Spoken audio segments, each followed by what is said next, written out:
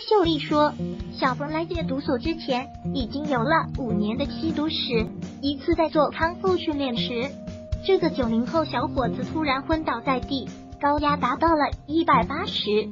毒品对人大脑造成的损伤是不可逆的，这一点刘强感受很深。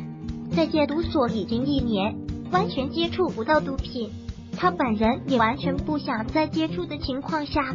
至今，他依然会梦到冰毒。除了对人身体的伤害，毒品还会对人的性格、行为习惯造成十分消极的影响。此外，在对社会的危害方面，吸毒严重破坏社会生产力，造成社会财富的巨大损失与浪费。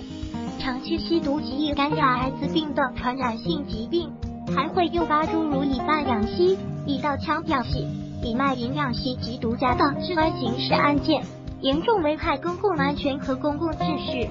如果喜欢本视频，请分享并订阅本频道，访问 T T News 点 X Y Z 获取更多相关资讯。